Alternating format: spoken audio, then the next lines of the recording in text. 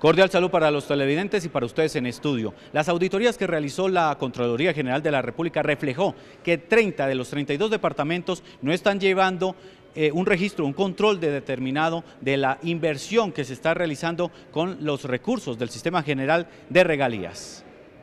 Los ciudadanos pues no saben si tienen una escuela, si tienen una carretera, o sea, no se están registrando. A la larga, digamos que lo más valioso y casi que podríamos compararlo con la contabilidad de la casa. Si yo compro un carro y lo registro como gasto, pues no tengo gas, no tengo carro. Estoy llevando todo como un gasto, como un gasto, y al final no estoy capitalizando nada, no estoy construyendo mi patrimonio. Eso mismo pasa con las regiones. Aquí no se está construyendo el patrimonio de las regiones, se está deteriorando, por el contrario, se está volviendo gasto.